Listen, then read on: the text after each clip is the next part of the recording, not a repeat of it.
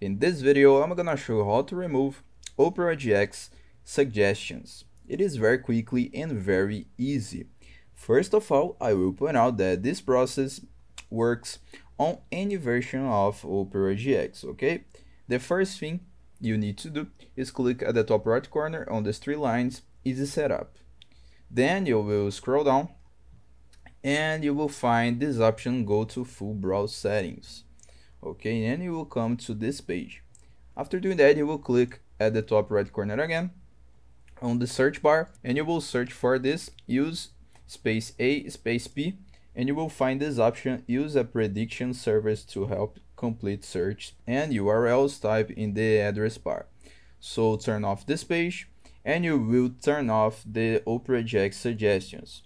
I hope i helped you on how to turn off opera gx suggestions, so if this video helped you in any way, hit the like button and subscribe to our channel to receive useful tips.